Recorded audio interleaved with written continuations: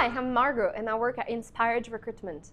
At the moment, I'm a recruitment consultant and I help schools and teachers to secure a position all over Australia.